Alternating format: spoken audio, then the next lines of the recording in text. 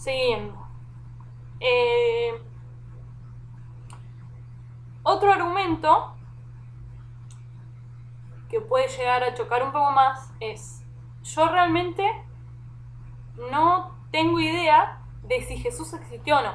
No puedo afirmarlo ni negarlo porque son cosas que creo que nadie nunca va a saber.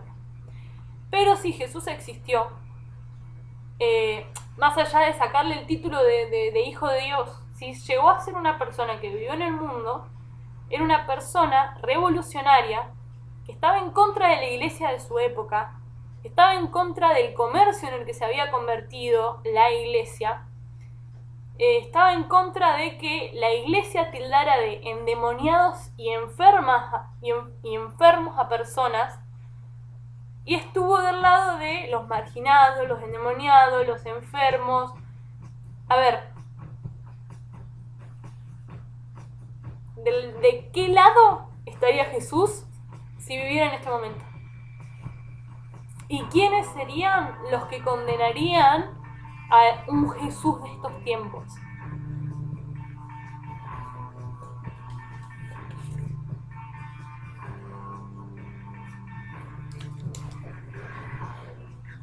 Cuando empiezan ya a tirar datos ellos, eh, como por ejemplo, acá vamos a empezar el tema de la refutación. Dios creó al matrimonio conformado por un hombre y una mujer. Es fácil. Primero, el matrimonio no empezó como una institución religiosa, empezó como una práctica del derecho romano. Segundo, Hoy en día, menos que menos, hoy en día el matrimonio es un contrato legal entre dos personas adultas capaces. Y tercero, uno no, si tiene que remitirse a, lo que sería el matrimonio y la familia bíblica,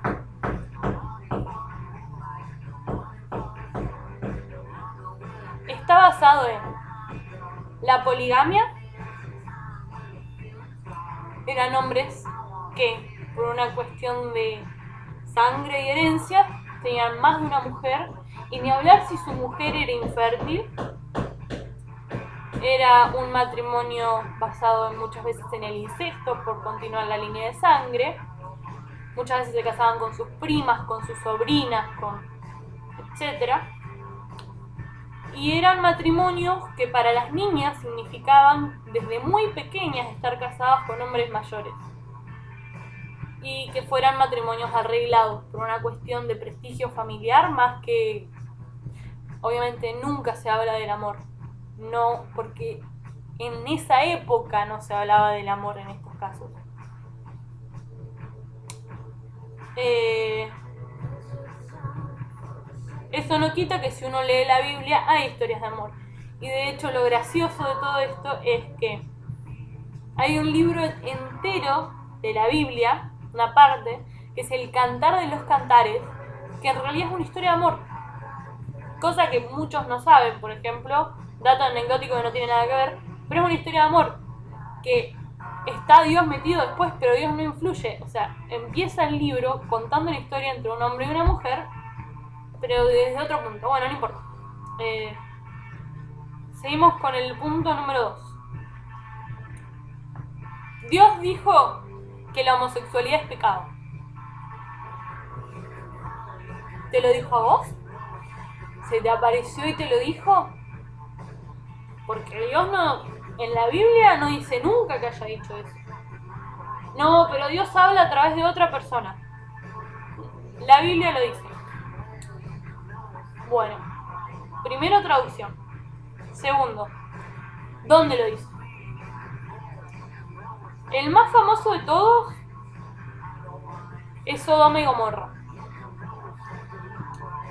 Eh, el relato de Sodoma está mal interpretado. En realidad fue mal usada la palabra eh, sodomita o, sodomía para referirse a la homosexualidad. Porque yo no sé si lo conocen, pero el relato básicamente es un cuentito donde bajan dos ángeles del cielo, llegan a la ciudad de Sodoma que tenía la ley que prohibía alojar extranjeros, era muy mala la gente de Sodoma con los extranjeros, y eh, un señor dijo, bueno, yo los voy a hospedar. Entonces la gente del pueblo se enojó y fue a la puerta de la casa a reclamar que, saca, que, que, que los ángeles salieran para violarlos. No como una práctica homosexual o afectivo sexual diferente, como un castigo. A ver, era el castigo que iban a tener los extranjeros por haber roto las leyes del lugar. Dicho sea de paso, el Señor, en vez de darles a los extranjeros, ¿qué hizo? Les ofreció a sus hijas vírgenes para que violaran. Entonces, Dios castigó a la ciudad de Sodoma. ¿Por qué castigó a la ciudad de Sodoma? No por prácticas homosexuales. La castigó por la falta de hospitalidad que tenía hacia las personas de otros lados. ¿Ok? No tiene nada que ver con la homosexualidad. De hecho, la palabra sodomita y, el ejemplo de Sodoma se usa muchas veces en la Biblia para referirse en otras ocasiones justamente a, a este tipo de pecados de falta de hospitalidad, etcétera, etcétera. Bueno, eh, a ver si voy a hacer un video número 2 con todos los otros temas porque tenía un montón para hablar y ya pasaron 15 minutos y deben estar todos muy aburridos. Así que nada, espero que les sirva un poquito de base y en otra ocasión seguiremos. Y eso, no se desesperen porque realmente, ya dije, eh, encontrarse con esta gente hace que uno tenga más en claro que está del lado correcto. Adiós.